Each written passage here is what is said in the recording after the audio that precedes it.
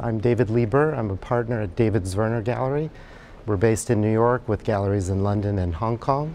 This is our third year here at TEFAF New York. This year we've decided to do a solo presentation of the artist Paul Klee, focusing on his late period, meaning work from the 1930s until his death in 1940.